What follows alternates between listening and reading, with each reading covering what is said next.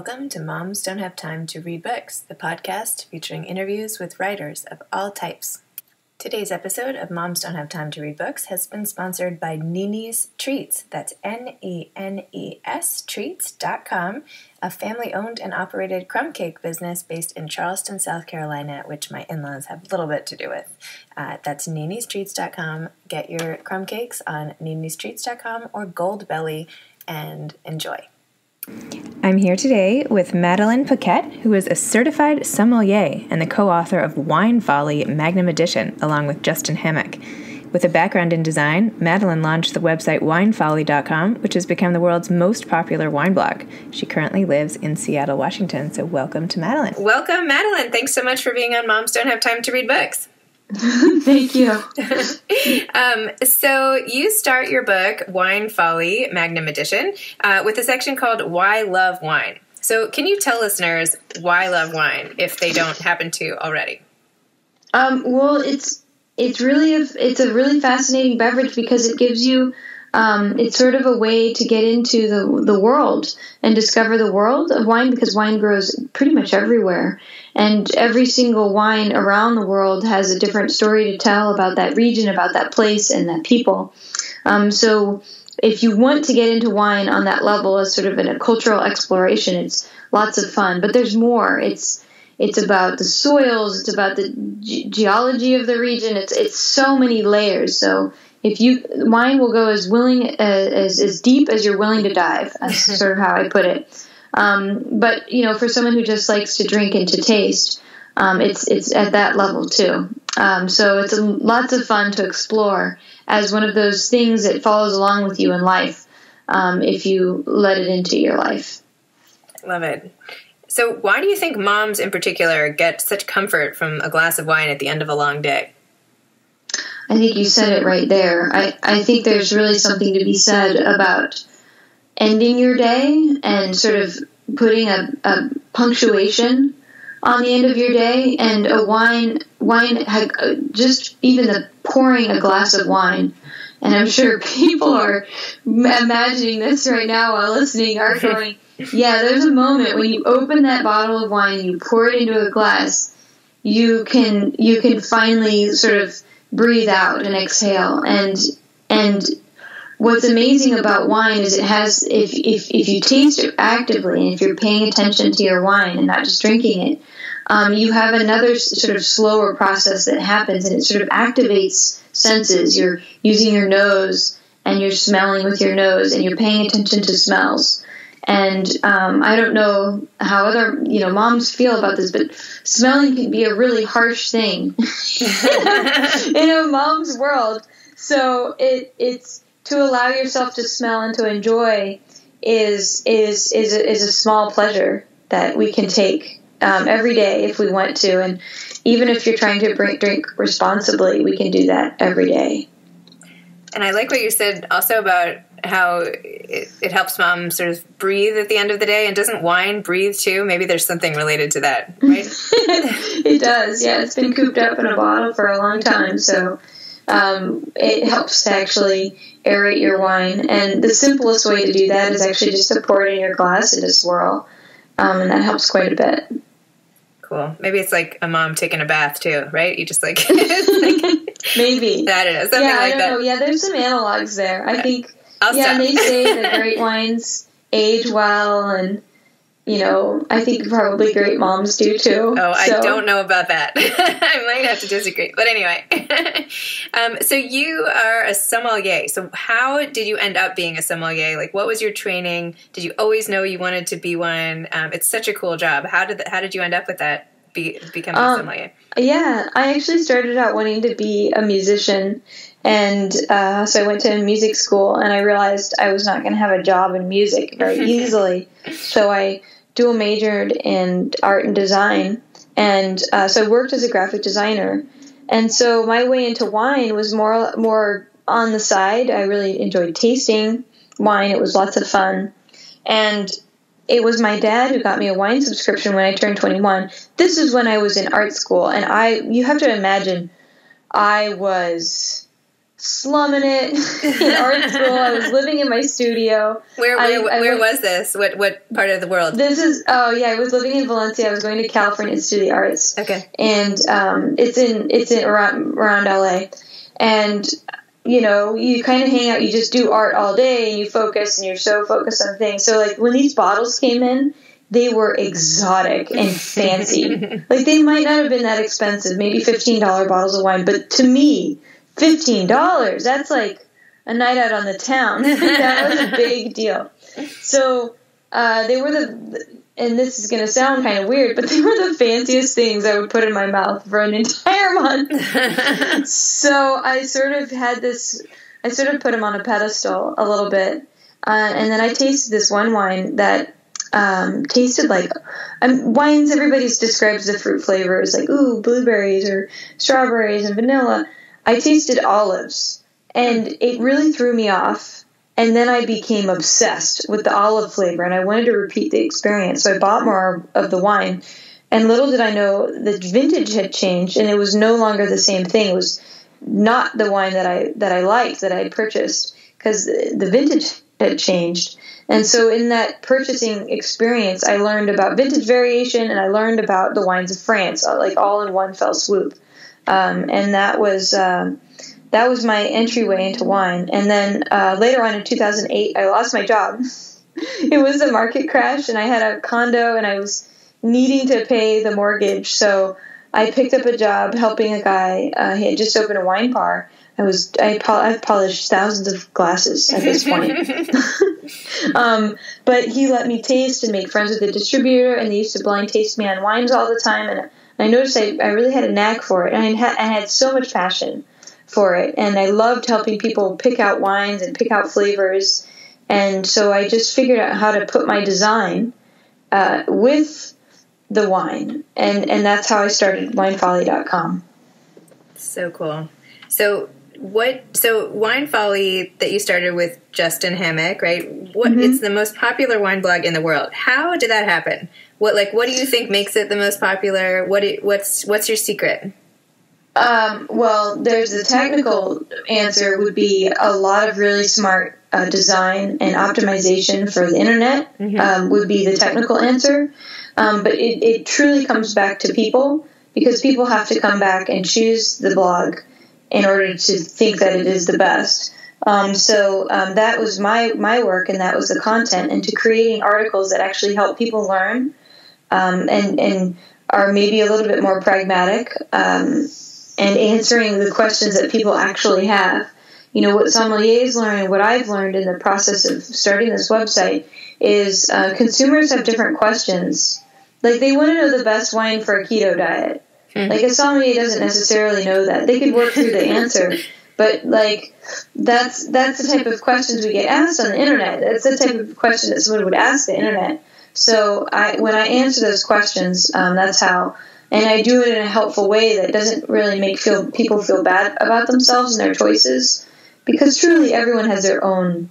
We all have our own preferences and, and that sort of thing. And my taste palette is going to be different than yours, and that's fine. That like uh, you know the great thing about me is I'll drink just about anything, so we can drink together. And it'll be, it'll be a grand old time. Oh, good. Come on over. All right, I'll be right there. Great. Um, so you had this amazing website and you turned it into a New York Times bestseller, your first edition of Wine Folly. What was that process like for you? It was really hard. Um, it was it was hard for many reasons. Um, I'd never written a book before. I'd never written a multi-page report in college because I went to art school. So uh, developing the design systems to create a 230-page book was a great deal of effort, and I was 100% determined to do it right and to do it well. And um, then, right before the pub publication, um, on my husband's birthday, Justin's my husband, um, his dad passed away, Oh no. and and so we we had already sort of he had his dad was getting sick at the beginning of the year, and we had to like postpone things with the book, and it was really hard to work on it while this was all happening because it just didn't seem important. You know, his dad was really really important in his life, and um, so you know, it was when it all happened. Like I was, I was trying to hustle and get the book out there, but like I was so deeply worried and concerned about my husband and his family, and and and I was hurting too. I mean, his dad was a very magnanimous person in our lives, so it was like it was a shock. It was it was it was and um, it was actually the most amazing growing experience. You know, I look back on his dad and I have very warm, happy feelings about him now. But then it was it was really a shock. But uh, it was a growing up experience. It was like, okay, Madeline, put on your big girl pants. Right. You're going to do this thing because after that, Justin sort of stopped working on the site. and He didn't want to do it anymore. He he sort of had this like aha moment. Uh, it was almost like a midlife crisis in his 30s and he just he's like i need to do what i'm the best at. And and you seem to be doing okay and you're gonna either you're gonna either swim or sink and i gotta let you swim or sink. So i'm running the site on my own now and it's doing pretty well which is good. But in the last couple of years i've basically learned how to do it. And so this next book was really me being like okay madeline let's let's do it for real. We learned from our first book and the first book is a great book for beginners because it's very welcoming and it's super fun and bright colors and and and you know a beginner who's even just 21 will get a lot out of it mm-hmm. and enjoy it. But this book was more like I've learned from my readers that they're smart. Mm-hmm. That they they might not know anything about wines, but they're smart people and they learn very quickly. And the way that I'm communicating with this visual design, this whole book is all visuals. Uh, they learn really, really fast. So they look, they look at these pages and they just absorb it all really quickly. And so it's, it means it's working. Right. That method, method of teaching is working really well. Um, but so in this next book, I was like, well, what if I was trying to teach someone to become a sommelier? Like, what if they wanted to know as much as a beginner som with the Court of Masters or something like that? So I, I use that as sort of my my lighthouse Hmm. in the distance. Okay, does that is that what a sommelier learns? And then I and then I thought to myself, well, sommeliers, a lot of them can end up in, turning into snobs. How do I teach someone so that they not only know what a sommelier knows, but they're not too snobby about it, right? Yep. They're not too prideful. So the knowledge is free and is welcoming, and they feel like everyone should know it. And so that was the goal of this book: is to get you som status without the snob, som snob. Love it. That's awesome. Yeah. I just made that up. That sounds kind of good. I, I, like it. I think we gotta we're gonna like you know trademark the the slogan now. Take it on the road. Love it. Yeah. uh, well, I'm so sorry that your first book experience um, became sort of mired in that loss for you. That's awful. I'm I'm really sorry. Um, it's okay. It's okay. It was it happened. I know. And just you know it happened, and that and I can look back on that whole experience, and it, it's kind of nice that I have a piece of something that places it in time. Right. You know? Yep. So, what did your husband actually want to do instead? Just out of curiosity. Um, well, he just started getting interested in. He's he's like the boy of the internet. He's always been really deeply interested in uh, future technology and where the internet's going and all that sort of stuff. So he started really getting into the future, blockchain technology, and trying to understand how it works and how it's going to be implemented. So, like, yeah, everybody's investing in in cryptocurrency now and stuff, but what, what how is it going to work? What's it going to do? Who's going to make these things that are? What's the future of the internet? How's it actually going to work and all that stuff? So he's really into that now, and I support him fully. I think it's awesome because I like the idea that he's the boy of the internet because he was there when it started, mm-hmm. and he's there. Um, you know, he's there you know, in the next stage of where the internet is going. So I, I, I, I'm very happy for him. But still, though, he is my primary advisor. Mm-hmm. I run everything by him.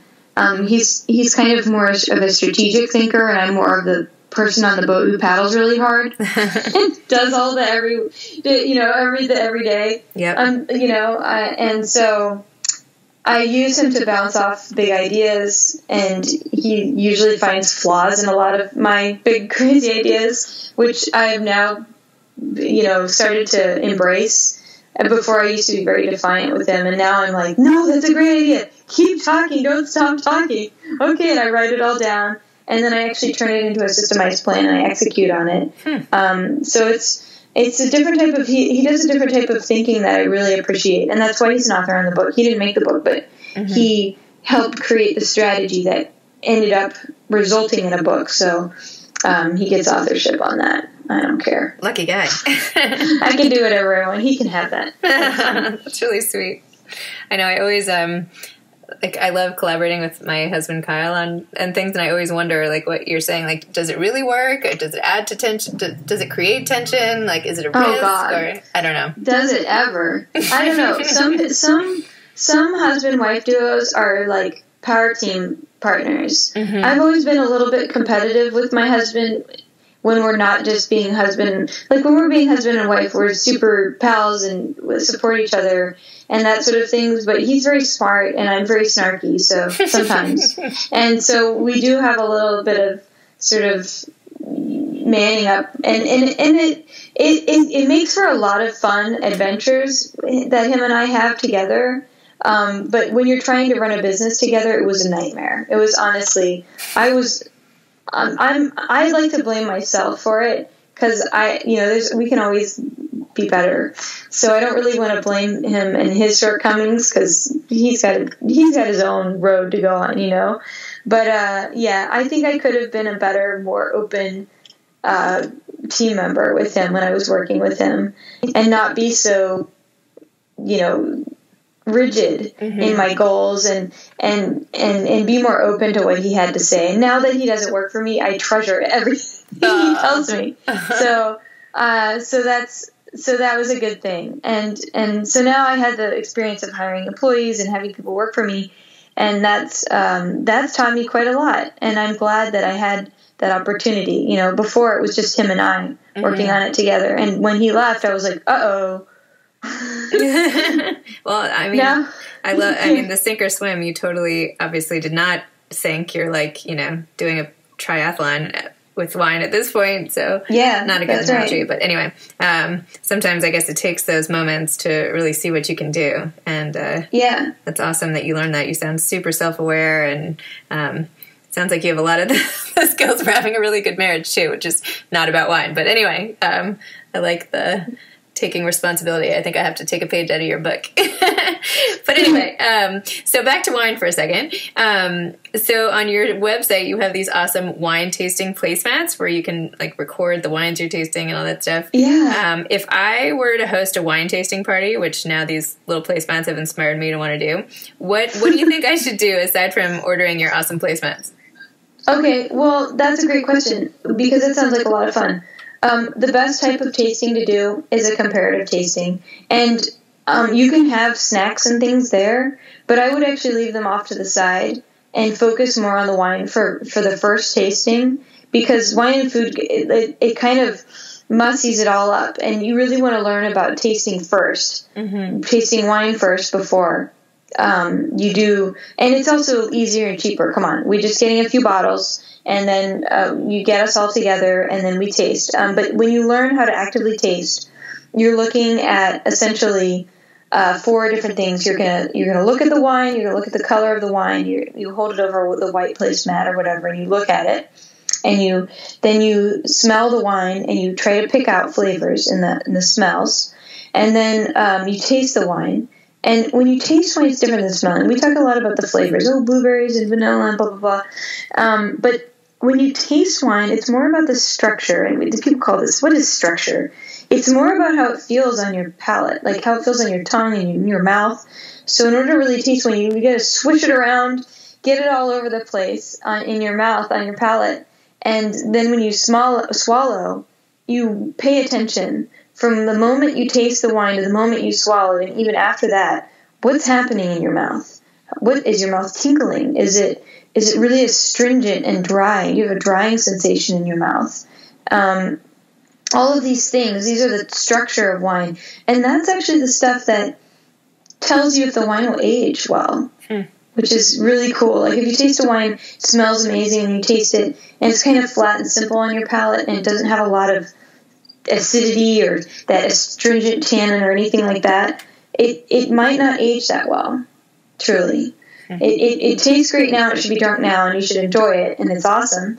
Um, but maybe it won't age more than, you know, four to five years max. Um, and, mo- and most wines don't, surprisingly. Most wines you buy in the grocery store are not meant to age at all, they're meant to be drunk now. But uh, a few of them will. They'll go the, the while, and if if you like a wine and you like drinking it, the most fun to do, even if it doesn't age well, is to age it for a period of time, like a couple of years, and to taste how it changes. And you'll learn a lot about wine if you do that. But yeah, getting back to this tasting thing, I would do a comparative tasting. And how, how many how many different wines am I ordering here? And should they be white? I would and, do four. Four wines. White, four white wines. and red, or, or just white, or just red, or what? Ah, yeah, yeah, yeah, yeah. What would I do? I think a lot of folks generally like. I would I would take an assessment of the group first before making that decision. Okay. If people tell you that you really like, they really like red wine and they'll drink nothing else, maybe we do a red wine tasting. Mm-hmm. Um, and vice versa. If people are open, uh, two by two would be really fun. Okay. Um, and you could do something like you get a decent. Um, you really want to taste if you do two by two. You want to taste the same grape. Um, you want to taste maybe Sauvignon Blanc from New Zealand versus Sauvignon Blanc from France, hmm. okay. or or Sauvignon Blanc from Napa Valley versus Sauvignon Blanc from Chile, or something like that. You want to taste uh, the same grape variety from a different region because then you realize the grape tastes different from different regions, and you start to develop this repertoire of wines that you get to know. And I love to taste Sauvignon Blanc as one of the first wines everyone tastes because it really does communicate where it's from. And I also, for that same reason, I love to taste Syrah or Pinot Noir. Um, you know, Syrah from Australia versus a Syrah from France will blow your mind. Like, it's not even the same thing, it's not even on the same plane. But when you taste them alongside each other, you realize what's similar about them. But it's not what you think. And it's more about how the taste profile, like we were talking about, that mm-hmm. taste taste part, yep. how it hits your palate. And so you realize Syrah can be many, many things, but when you taste those two wines next to each other. And then you'll learn also about cool climate versus warm climate. And so the reason I picked Napa Valley versus coastal Chile or New Zealand versus France or things like that is has a lot to do with the, the climate where it comes from. Hot climate wines have a totally different taste profile than cool climate wines.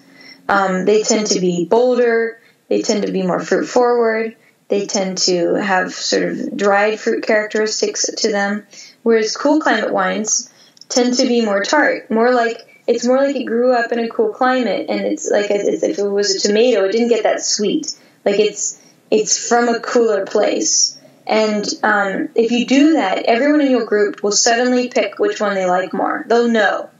Deep down, they'll know which one they like more. And that's a clue. It, it tells you what regions you should go hunting for wine in. Like if you like hot climate wines, check out Spain, or check out southern Italy, or check out more of California, or, um, you know, Australia. Like these are going to be your hot spots for wine. That's funny, hot spot. Um, so um, that would be that would be the, the big tasting to do because not only are you testing climates, comparing climates with one another, but you're also learning more about these individual varieties. And I pick Sauvignon Blanc and Syrah, Sauvignon Blanc and Pinot Noir as really good examples, but there are other great grapes to do this with. Uh, Chardonnay would be one too. I love uh, my, my favorite is Chardonnay from Napa Valley. That's my that's my go to. But maybe it's because I like warm weather myself. I don't know. yeah, no, it could be. It, it could be you might be a warm climate wine lover, and that's great. Uh, you know, what, for the longest you? time, for the longest time, that was my taste profile, and then my palate changed a little bit, and I like, I you know, I drink everything under the sun, so I I don't know if I really have like a specific but um, I tend to buy a lot of white wines when I'm just okay. I need to drink. I need that wine after a long day. Right. Uh, so that that's what I'm drinking these days. But who knows what I'll do next year? and we'll see. When uh, when I have this fictitious little dinner party I'm thinking of doing um, with the wine tasting, Mm-hmm. Should I be giving everybody tasting? Like, I know I'll give them the placemats, but you have a whole section in your book about tasting notes and the importance mm-hmm. of those. Should we be doing that as well? Yeah, you should take notes because everyone's going to write something different down. And and when you do it as a group, um, it can be hard for somebody who's slow to to take notes to develop their own thing. So it would be good if if you started it and everyone wrote down their notes first before you talked about it. So you start it and there's quiet time when people write their notes and taste, and you do that for like you could set a timer, little you know, little egg timer or something like that, mm-hmm. um, and you can write down your notes, and then you can talk together as a group, and that is the best thing to do. I think is to really take the time tasting yourself and then learn from other people in the group because everyone will have something unique to add because they all taste differently. And so you'll learn sort of doubly fast with comparative tasting with friends. It's it's really a great method. It, it works like a champion. In fact, pretty much all master sommeliers have like really intensive tasting groups, which is this is exactly what they do. But they do it with six wines instead of four, mm. and they do three whites and three reds, and they do them all blind. So they do them without knowing what they are and where they came from. And so their goal is to figure out what they are and where they came from in the blind tasting. So next time you're in either New York City or LA, both of which I spent a lot of time in, and you want to come to my house and help me run one of these dinner parties, that would be a lot of fun. Do you ever you know, do? Do you do that? Do you do that? Just I I I um I, I still do tastings and stuff, but right now I'm doing something on my website, so I haven't done. I haven't been running around lately. But um, I love LA. I used to live there. It's so awesome. What part of LA you you spend time in? In the Palisades. How about you? Oh, yeah. Wow, that's an awesome area. Um, I lived in Pasadena and um, and in San Dimas when I lived there. I used to work in Pasadena. Yeah, gosh. Anyway. Good old memories. I, I love driving around that city. I love driving around the city at night. That was my favorite thing to do. Totally. Because it just goes forever and ever and ever. Absolutely. Yeah. Um, so, aside from coming to my dinner party, what else do you have coming down the pike for you professionally? I like your show. Um, professionally, I am right now, and actually it's releasing really soon in New York and in LA, is the Somm 3 film and I'm actually a pretty big role in that film. Um, was a documentary by Jason Wise. It's part of the Somm series. If you've seen it, Somm 1 is a crazy, crazy story about these guys that are trying to become master sommeliers and what they go through. They actually take the test in the video, and it's very, very stressful. And then Somm 2, they sort of explore what is wine and where it grows and sort of the magic of wine. And then Somm 3, uh, he's really trying to do something with wine. Jason Wise is. He wants to. Um, Pinot Noir is now the you know for somms and, and people who collect wine is now sort of considered the most important grape, and everybody looks to Burgundy. So he creates um, actually a sommelier who was in the first um, film puts together a tasting and to blind taste different Pinot Noirs from around the world in order to challenge Burgundy from its throne, hmm. and um, some really big names in uh, the wine world are included in this film, and I sort of narrate the whole thing, so it's really cool. That's so awesome! Oh my gosh, when does that come out? Um, well, it, it, it, premiered already, but it's it's going to be out on iTunes, I think, in November, um, and so it's coming out soon. Perfect! Oh, I can't wait to watch it with uh, a big thing of wine in front of me. yeah, you definitely need a glass of Pinot Noir to, to watch this film. Done. Now I have my plans for November. anyway, um, well, thank you so much for coming on. Moms don't have time to read books, and uh, moms really don't have enough time to drink wine either. So this is a nice little, uh, um, you know, little tasting of uh, of your, inten- you know, immense knowledge and, and everything. So thank you so much for sharing it with me and uh, and all the listeners. Thank you. All right. Well, take care, Madeline. Mm-hmm. Bye. Bye. This episode of Moms Don't Have Time to Read Books has been sponsored by Nene's Treats, nenestreats.com. You won't leave a crumb.